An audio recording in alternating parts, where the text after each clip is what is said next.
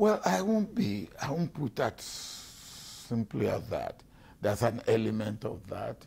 Um, there's an element of, uh, there's an internal element which you have uh, mentioned, uh, inadequate education in the north, or in fact, inadequate education generally in the country, um, inadequate uh, employment opportunities in the country, all, all, that are part of uh, what is the, if you like, remote cause of uh, Boko Haram, as far as I'm concerned. But then there are also uh, external elements. Now, the fallout from Libya, and uh, which, of course, as a result of what happened in Libya, those that have been trained in Libya in the time of Gaddafi, from other countries uh, who are, are, neighbors of Libya, um, they, when, when, when Gaddafi fell, they moved out. They moved out with their training, their, uh, their uh, weapons, and um, they, they, they, start, they started to uh, wreak havoc on the communities in which they have moved out to. And that is the situation in northern Mali. Chief Obasanjo, if I, if I get you correctly, what you're saying is the overthrow of Gaddafi uh, is the result has been what we saw recently with the killing of the U.S. ambassador, with the instability in northern Mali, with Boko Haram. Is that the connection you're drawing? There is, uh, there is connection. Uh, and we know that there will be a price to pay uh, in the way that uh, it all went in Libya. That at the end of the day, all of us in Africa and all those who masterminded the way it happened will have to pay a price. And we are now paying the price. So as you were watching the euphoria surrounding the Arab Spring unfold, you were one of those individuals who felt, hang on for a minute, this is not going to play out the way some people may expect. Now, we were too, it was too early to shout uh, Uhuru with the Arab Spring. And, and, and, some of us said that, that look, what will be the final outcome of this? Let us wait and see. Uh, when you have um, violence and violent overthrow of regimes, you do not know exactly what the final outcome will be. Well, I won't be, I won't put that simply as that. There's an element of that. Um, there's an element of, uh, there's an internal element which you have uh, mentioned, uh, inadequate education in the north, or in fact, inadequate education generally in the country, um, inadequate uh, employment opportunities in the country, uh, all, all, that are part of uh, what is the, if you like, remote cause of uh, Boko Haram, as far as I'm concerned. But then there are also uh, external elements. Now, the fallout from Libya, and uh, which, of course, as a result of what happened in Libya, those that have been trained in Libya in the time of Gaddafi from other countries uh, who are, are, neighbors of Libya. Um, when, when, when Gaddafi fell, they moved out. They moved out with their training, their, uh, their uh, weapons, and um, they, they, they, start, they started to uh, wreak havoc on the communities in which they have moved out to. And that is the situation in northern Mali.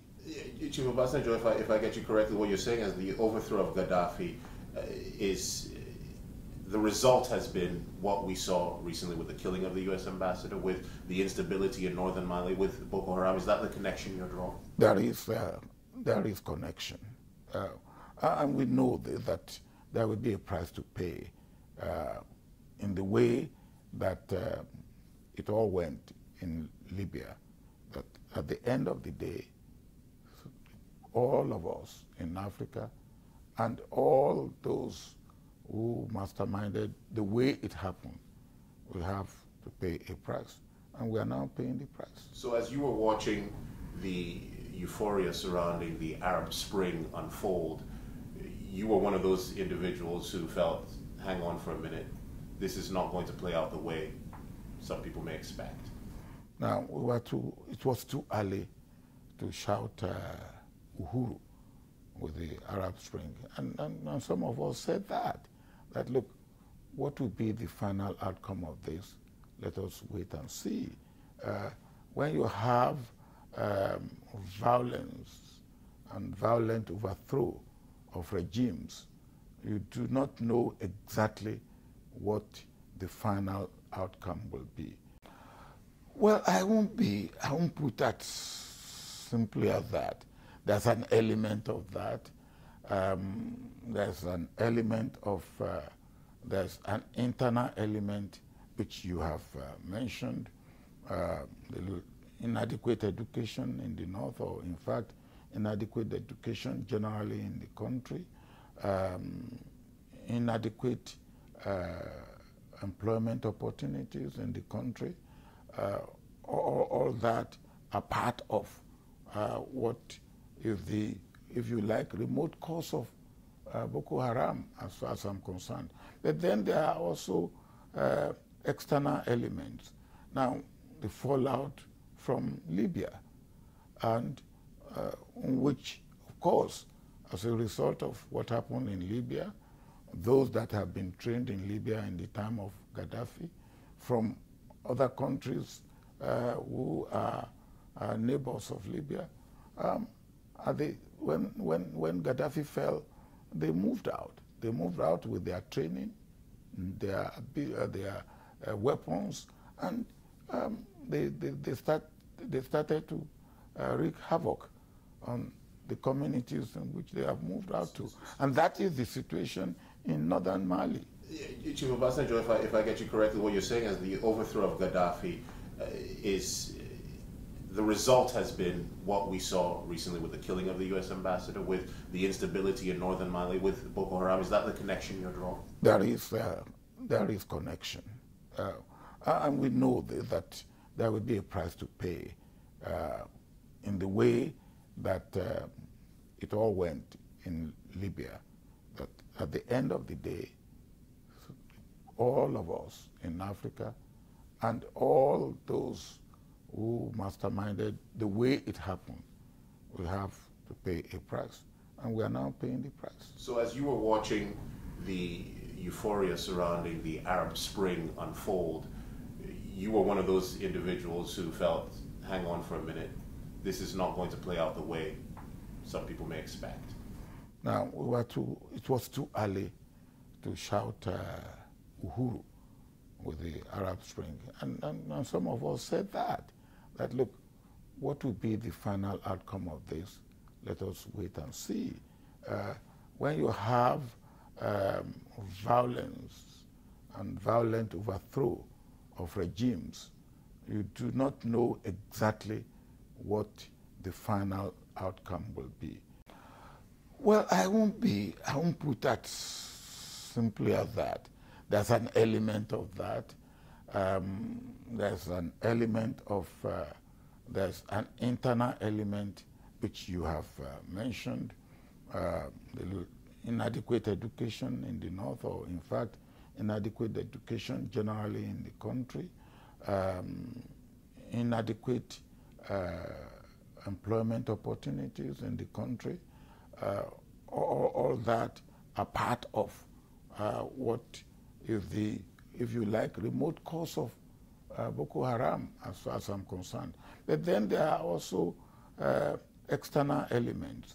Now, the fallout from Libya, and uh, which, of course, as a result of what happened in Libya, those that have been trained in Libya in the time of Gaddafi, from other countries uh, who are, are, neighbors of Libya, um, when, when, when Gaddafi fell, they moved out. They moved out with their training, their, uh, their uh, weapons, and um, they, they, they, start, they started to uh, wreak havoc on the communities in which they have moved out to. And that is the situation in northern Mali.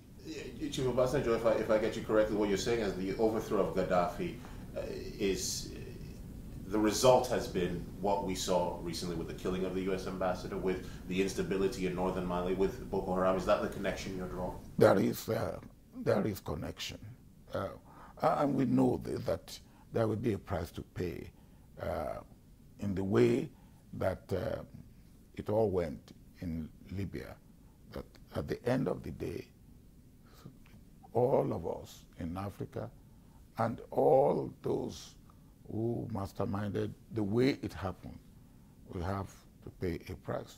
And we are now paying the price. So as you were watching the euphoria surrounding the Arab Spring unfold, you were one of those individuals who felt, hang on for a minute, this is not going to play out the way some people may expect. Now, we were too, it was too early to shout uh, Uhuru with the Arab Spring. And, and, and, some of us said that, that look, what will be the final outcome of this? Let us wait and see.